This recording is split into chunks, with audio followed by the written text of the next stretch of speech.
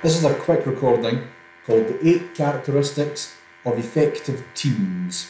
Uh, my notes here say it's from a three year study of 60 extraordinary groups. Characteristic number one they have a compelling purpose. Characteristic number two they have shared leadership. The team is not built around one person. Number three, they have just enough structure.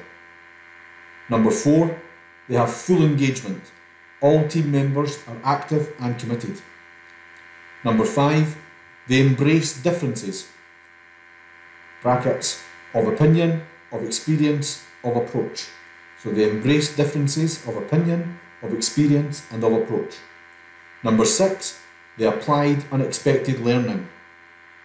Number seven, they strengthen team member relationships. Number eight, they have great results. So back to the start. Number one, they have a compelling purpose. Number two, they have shared leadership.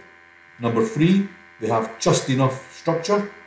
Number four, they have full engagement. Number five, they embrace differences. Number six, they applied unexpected learning. Number seven, they strengthen team member relationships. And number eight, they have great results.